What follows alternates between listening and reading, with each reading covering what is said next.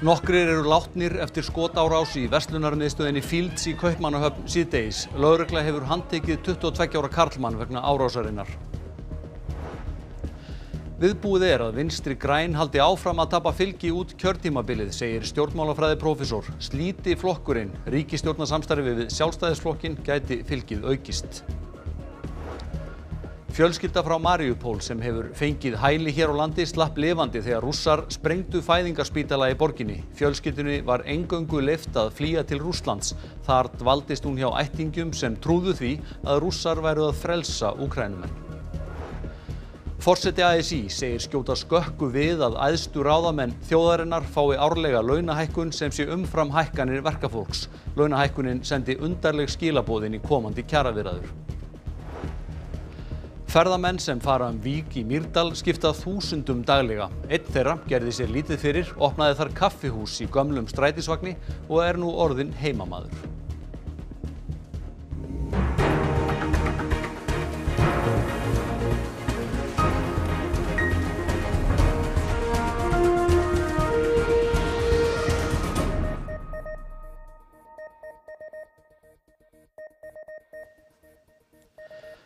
Gott kvöld. Við erum að leggja loka hönd á fréttum skotárásina í Danmörku en við ætlum að byrja að segja ykkur frá því að vinstirhreyfingin grænt frambóð tapar áfram fylgi á kjörtjamabilinu ef flokkurinn heldur áfram ríkistjórnarsamstarfi. Þetta segir stjórnmálafræði prófessor. Vinstir græn hafa aldrei mælst með jafn lítið fylgi og nú. Vafki hefur setið í ríkistjórn frá því síðla ást 2017 þegar formaði flokksins tók við embætti fórsættisráþurra. Þá fekk flokkurinn rétt tæp 17% atkvæða. Fylgið hefur snar minkað síðan þá. Samkvæmt nýjasta þjóðarpúlsi Gallups mælist fylgið núna 7,2%. Þetta fylgistap vinstri græna núna í konunum er í rauninni bara framhald af því sem að gerðist í kostingunum 2021. Þá tapaði Vafki rúmum 4% stegum. Ólafur segir að íslenska kostningaransóknin síni ánægi fólks með framistöðu flokkana í COVID. Ég held að ástæðan fyrir því að núna sem sé heldur Vafki áfram að missa fylgi sé það að við erum ekki lengur í COVID sem að galt saminað menn heldur eru aftur þessi klassísku hægri vinstri máli farin að skipta meira máli og það veldur því að bæði kjósendur Vafki og kjósendur sjálfstæðurflokksins verða í vaksandi mæli pyrraðir á stjórnarsamstarfinu. Sko sér þið fyrir þér eitthvað sem að flokkurinn getur gert þess að reyna að snúa þessari þróun við? Ja, það er mjög erfitt að sjá það ef þeir ætla að halda áfram í þessari stjórn. Ég held reyndar að alveg eins og það var ljóst 2017 að það myndi einhverju kjósendur yfirgefa Vafge vegna þess að þeir væru svo óanaðir með samstarfi sjálfstæðarflokkin þá sýnist mér allt benda til þess að ef að þessi stjórn heldur áfram út kjörtímanbili þá séu miklu meiri líkur en minni á því að Vafge muni bara tapa meiru þá. Mikil ávinningu sé þó fyrir flokkin að eiga fórsettir sáþrann. Flokkurinn gæti auki fylgið sitt með því að slíta stjórnarsamstæðinu núna bara miðið tímbili. Já, hann gæti hugsanlega auki fylgið sitt með því, það er ekkit ólíklegt en hins vegar þá, þá er það nú kannski ekki, ekki hyggilegt fyrir flokk sem vil vera ábyrgur að slíta stjórnarsamstarfi bara út af e, reyfingum í skoðanakonunum. Fréttastofa reyndan á að tala af formanni og varaformanni Vafki í dag en án árangurs. Skot árás var gerði í Vestlunarmiðstöðinni Fields í Kaupmannahöfn í dag. Nokkrir eru látnir og hefur lögregla handtekið einn vegna málsins 22 ára gamlan Dana. Mikill viðbúnaður er við Vestlunarmiðstöðina sem er á Amager. Þungvopnaður lögreglumenn og stórt svæði hefur verið girt af. Fyrstu tilkynningar um árásuna bárust lögreglu um klukkan 6 síðdegis að staðartíma. Lögregla handtók einn vegna árásarinnar en hefur ekki gefið upp nánari upplýsingar um minn handtekna. Þrýr hið minnsta voru fluttir á sjúkrahús. Lögregla leitar að særðum inn í verslunarmiðstöðinni og að hugsanlegum árásarmönnum. Jóna Alla Axelsdóttir var að vinna í Fields í dag. Og ég og samstarfskona mín verðum bara að vara við það að fólk er að hlaupa fram að gangi. Bara allir hópast í aðra áttina og svo hópast allir í hinn áttina. Fólk er að segja, fólk er að fara ekki ákveðna átt og við vissum ekkert hvað var í gangi. Fólk verðist mjög rætt og uh, svo heyrum við skotljóð, heyrum nokkur skot, við veitum ekki alveg hversu mörg, þetta er allt svolítið í móðu um, og fólk fyrir að tala um að það sé einhver með byssu Svo við hlaupum inn í búð, sækjum síman okkar, um, tökum þá sem voru inn í okkar búð með okkur inn á lager og lokum eldvarnarhurð svo við séum örug þar inni.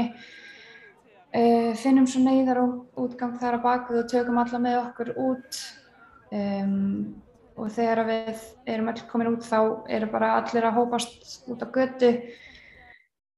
Og uh, svo bara áður við sem að var löggan mætt og bara þungvopnuð, allir með stóra bissur og að bara öskranda á fólk að koma sér í burtu, við hljöpum hinn með við götuna og yfirmærun okkar náði svo í gegnum síma bara að koma okkur í örugt skjól hjá fólki sem hún þekkti nálagt og við höfum bara verið þar síðan bara býð eftir fréttum og erum bara í raun að reyna að koma okkur heim núna. Við veitum ekki alveg, það er búið að loka svæðinu svolítið af, svo það er svona aðeins flóknara að komast og við veitum ekki alveg hvernig það er best að gera það en við erum að finna út í um, en við erum allavega örugar Sendir á Íslands í Kaupmannahöfn býður Íslendinga í borginni að láta aðstandendur vita af sér Við flytjum ykkur nýjustu frettir af þessum tíðendum á rúf.is. En fórseti ASI förðar sig á að aðstu ráðamenn þjóðarinnar fái launahækkun á hverju ári sem sé töluvert umfram hækkanir í almennum kjarasamningum. Þessi hækkun hafi áhrif á komandi kjaraverðaður. Mánadarlun þingmanna ráð þeirra fórseta Íslands og fleiri hátsettra embættismanna hækku um tefla 5% á förstudag. Þingvarakaup hækkaði fyrir vikið rúmlega 60.000 krónur og ráð þeirra fór næri 100.000 krónar launahekkun. Drífa Snædal, fórsett ASI, furðar sig á að aðstur aðamenn fái sjálfkrafa vísutölu tengda launahekkun á ári hverju. Hækkunum sé tölvört umfram það sem launafólk semji um í almennum kjærasamningum. Eh, nær væri bara að miða þetta við almanna kjærasamninga og krónutölu hækkanirna þar eh, eins og var samið um 2019 eh, og stefnir í að verði sennilega samið um aftur þar segja krónutölu hækkanir þó að það verði kannski eitthvað blanda. En þarna er fólk sem er áskrifandur af sko, meiri hækkunum heldur en almennt verkafólk er að fá í, í gegnum sína kjærasamninga og það skýtur skakku við. Drífa segir þess að launahækkun aðstur aðamannu þjóðarinnar hafa áhrif á komandi kjæraviðræðir. Kjærasamningar á almennu vinnumarkaði losna 1. november. Það er mjög undarlega skilabóð til fólks uh, þegar dinja okkur núna uh, kröfur um að sína ábyrð og hófsemd og ég veit ekki hvað, hvað í komandi kjærasamningum að þetta sé að bresta núna með 10.000 krónar hækkana til þeirra sem ráða og þeir þurfa ekkert að standa í einhverju kjæraverðan fyrir það eða, eða átökum eh, þannig að auðvitað hefur allt svona áhrif. Sama dag og laun ráðamanna voru hækkuð var greint frá því að þeir hefði fengið ofgreitt laun um þryggja ára skeið. Þeim voru gert að endur greiða mismunin. En hver eru réttindi launafólks gagvart atvinnureikendum þegar það lendir í þessum aðstæðum?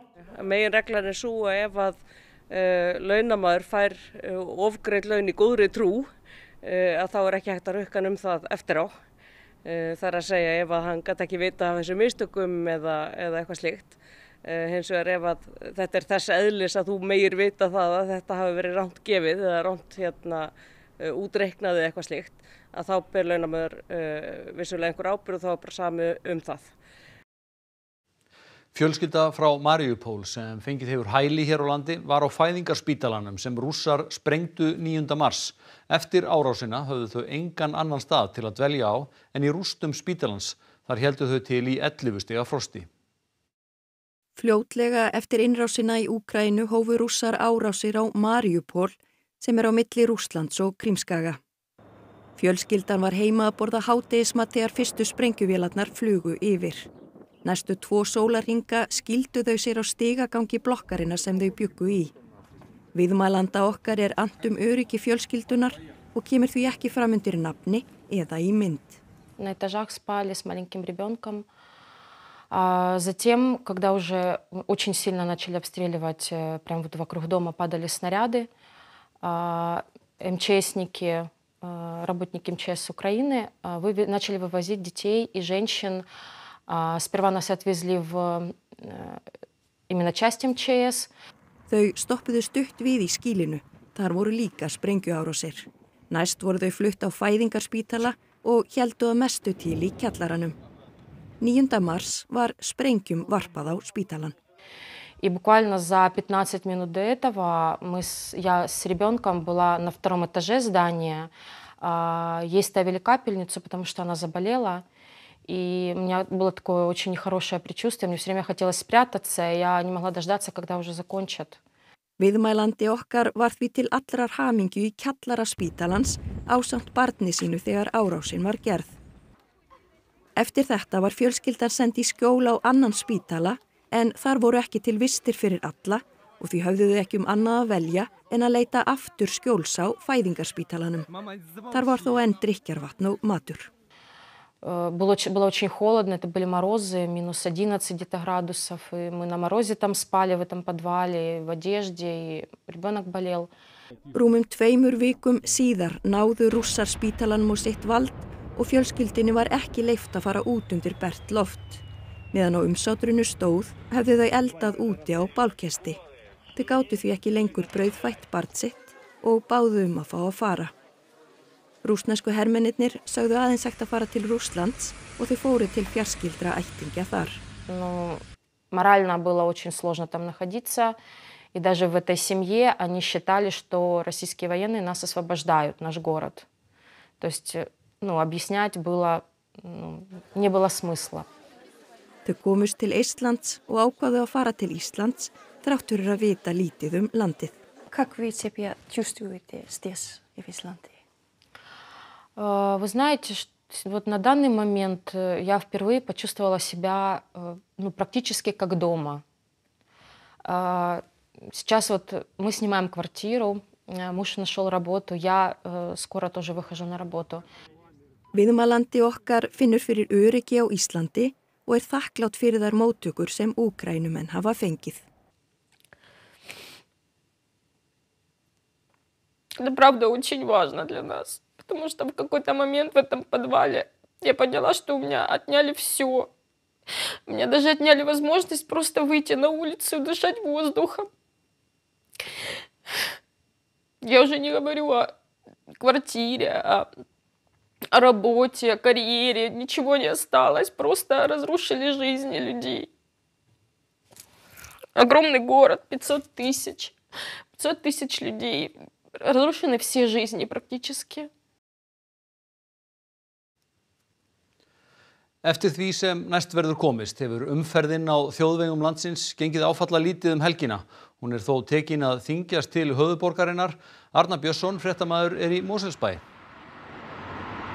Jú, hér er virðarsmenn kera bara rólega í kvöldsólunni og leið til höfuborgarinnar. Maðurinn sem veit allt um þetta er þetta hjá mér, Aðarsteinn Þór Guðmundsson. Hvernig hefur umferðin gengið um helgina? E, Blessunlega hefur hún bara gengið mjög vel hjá okkur hérna á höfuborgarsóðin allavega. Ívið meiri kannski enn venjulega um venjulega helgi og, og þá fleiri ferðavagnar en, en bara gengið mjög vel. Þið hefði ekki þurft að gripa til ykkar ráða og, og stoppa um henn? Við höfum þurft að stoppa þó nokkra fyrir að vera ekki með auka hliðaspegla sem er náttúrulega mikilvægt að vera með breyðari eftir, aftan í vagn heldur en bílinn er. Já, en að öðru leiti höfum þetta bara verið afskipta laust. Eru fleiri svona atvík fyrir annað að, að grípa menn með, með nagladakar ekki? Jú, jú, enn eru við að grípa þau því miður og svo þess að spekla og alltaf þetta hefðbundna, belti og sími og, og hraðasturinn en það hefur verið lítið um hraðastur allavega núna um helgina hjá okkur. En þú gefur ökumönnum um helgina góða engun? Gerir það, gefum góða engun. Látum við þetta döga aðastætt, takk fyrir það og við kvæðum hér í kvöldsólinni í Mórselsbæ. Takk fyrir þetta Arna Björnsson. Vík í Mýrdal hefur tekið miklum breytingum síðustu ár svo hægt sé að veita þeim urmul ferðamanna sem þar fer um betri þjónustu. Ferðamaður sem þanga kom settist að og er orðin atvinnureikandi. Þótt aðeins búi rúmlega 800 manns í Mýrdalsreppi þá þarf að miða þjónustuna við mörg þúsund manns. Íðulega er öll gisting í hreppnum uppbókuð yfir sumarið og þó er gistustöðum alltaf að fjölga. Þá er í þorpunu stórar verslanir, margir veitingastæðir, barir og kaffihús fyrir utan alla áþreyinguna. We like it a lot. It's beautiful, it's amazing. The beauty of the nature and we found a nice campground uh, not too far yeah. with really nice views. Why are you here in week? Uh, we're here for leisure, so for fun, for our holidays. Vad är det smokaste som I har sett? Øhm, Vandfaldet, ja, sikkert. vandfaldet, ja. Vandfaldet, Også- det var virkelig flot. Ja. Der var en regnbue, mens vi var der. 3600 bílar fóru um vík samkvæmt teljara vegagerðarinnar þegar fréttastofan var á ferð. Þetta er náttúrulega einn af helstu stöðunum og ef bara fólk kemur annað borð til Íslands þá fer það yfirleitt hingað. Og það er hér allt fullt eiginlega alla daga og mikið bló, blómstrandi mannlíf. Í húsnaði Kötlusetturs er Katla jarfangur líka til húsa og hægt er að fræðast um jarðsöguna þar sem Katla er auðvitað í aðalhutverki. Og hinum einn við götuna er hægt að skoða einn merkabát skaftfelling sem vann björgunarafreg í síðari heimstyröldinni. Can I have some Earl Grey? Yes, I have a lovely Earl Grey for you actually. So, do you want it with or without milk? Uh, without, please. No problem. So, Earl Grey is one of my favourites. Það sérkynlegasta sem fyrir augubir í vík er strætisvagn, svona skólabíl eins og sjáum á í bandarískum kvikmyndum. Og hann er einmitt eftirlögukind frá bandaríska varnarliðinu og hann var honin hræ þegar hún Holly fekk hann á slikk. Áður hafði hún eiginlega slísast til landsins í vinnu sem jöklaliðsögumadur. I opened during a pandemic, and so my opening has always been is it is it or isn't it going to work and this summer has hit and it's incredible it's bananas at the moment Ásamt Holly vinna þrýr starfsmenn allan daginn í vagninum. we make our own jewellery we make our own soaps so it's really authentically school beans or local in here which is really nice Og það er ekkert farasnið á kaffahúsaeigandanum sem líka er orðin fastegnaegandi. I wanted to live in a small town by the sea with a nice community, and it's exactly what it, what I got. It's fantastic here. Það hefur verið góð stemming meðal áhuga fólks um hjólreiðar í Danmörku um helgina þar sem hefur fjölment þúsundum saman á Tour de France eða Fraklands hjólreiðarnar. Þær fóru fram í Danmörku í fyrsta sinn. Fyrstu daglegir keppninar heimsfrægu voru hjólaðar í Danmörku um helgina. Henni verði svo haldið áfram í Fraklandi. Það hefur verið mikil stemming enda eru Danir þekktir fyrir að hafa mikla ástriðu fyrir hjólum, hvort sem er til að koma sér á milli staða til heilsubótar eða bæði. I think it's uh, outstanding. I think it's just crazy. We've watched it all our lives, and uh, it's the feeling of summer. And now, even though the weather isn't as summery, it's just really cool. And yeah, we love it. It's once in a lifetime opportunity. It's a whole party for the city. It's great. We love it. Eftirvæntingin var mikil og víða mátti sjá skreitingar í tilefni þess að keppnin væri haldin í Danmörku. Einn fórst og þúsundir hafa þurft að flýja heimili sín vegna mikill að flóða í ríkinu Nýja Söður Veils í Ástralíu í dag. Staðan er enn tvísín og þeim íbúum sem ekki hafi verið fluttir á brott er ráðlagt að vera tilbúin fyrir slíkt. Fregnir hafa borist af því að tekist hafi að bjarga konur sem slapp frá flóðinu með því að halda sér í tré. Þar beigð hún í klukkutíma þar til henni var bjargað. Yfirvöld hafa varað við því að bætt geti í flóðin fram á morgundaginn. But it was horrendous here last night, so I they guess had you any guys rain. are kind of used to it, but how like how much more can you take flood after flood? We just keep going. You, you don't give up. You just have to keep going. Uh, bikes. Uh, we lost our Christmas tree, our favourite Christmas tree last um, flood. Uh, heaps of other stuff, just that was in the garage, in the office, downstairs, under the house. It's just all gone. It's not replaceable. It's, it's messy as well. It's a real pain. Here we go.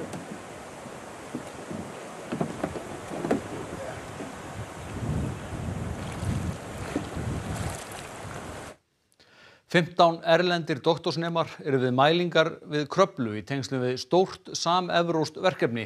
Mælingar og rannsóknir eru forsenda þess að skilja hvernig nýta með jarðhitta sem best, segir forsvarsmaður verkefnisins.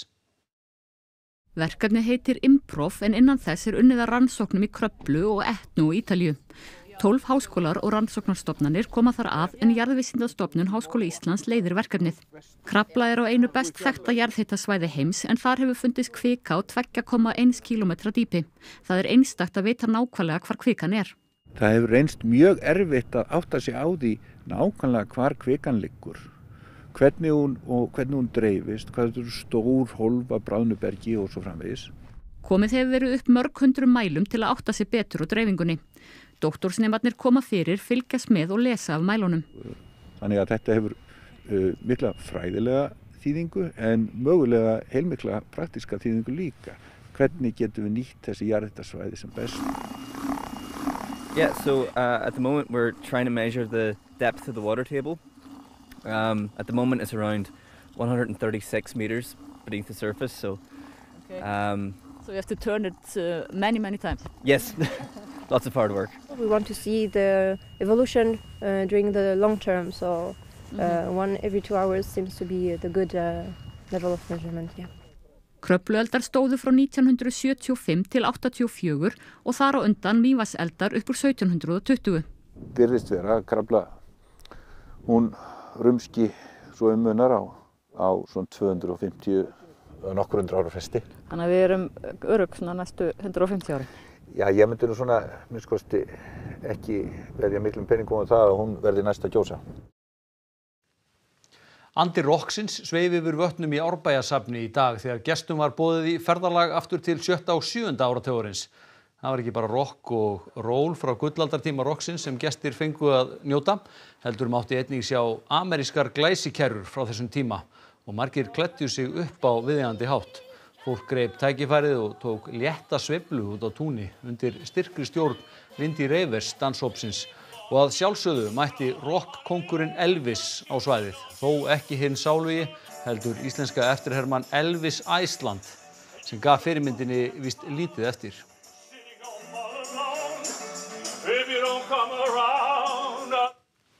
Sjáum hvernig viðrar á Elvis og okkur hinn. Áfram norðvestan hvassviðri á austanverðurlandinu á morgun með talsverðri úrkomu norðaustan til búast má við mjög snörpum vindkviðum við fjöll, staðbundið yfir 30 metrum á sekundu sem geta verið hættulegar vegfarendum með aftan í vagna eða á ökutækjum sem taka á sig mikinn vind. Guðlar viðvaranir eru í gildi þar til víða að þar til annarkvöld það verður víða bjart sunnan og vestanlands og hlínar heldur á þeim slóðum.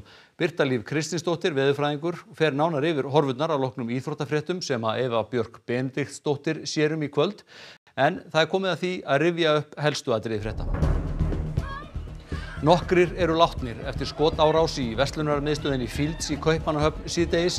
Lögregla hefur handtekið 22 ára karlmann vegna árásarinnar. Viðbúið er að vinstri græn haldi áfram að tapa fylgi út kjörtímabilið, segir stjórnmálafræði prófessor. Slíti flokkurinn, ríkistjórnarsamstarfi við sjálfstæðisflokkurinn, flokkin gæti fylgið aukist.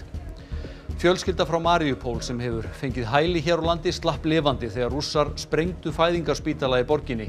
Fjölskyldunni var engungu leift að flýja til Rússlands. Þar dvaldist hún hjá ættingum sem trúðu því að rússar væru að frelsa úkrænumenn. Ferðamenn sem fara um vík í Myrdal skipta þúsundum daglega. Eitt þeirra gerði sér lítið fyrir, opnaði þar kaffihús í gömlum strætisvagni og er nú orðin heimamaður. Næstu fréttir verða sagðar í útvarpinu klukkan 10 kvöld og vefurinn rúf.is er uppvarður allan sólarhengin en þessum fréttatíma er lokið við þökkum ykkur samfylgdina um helgina. Verið sæl.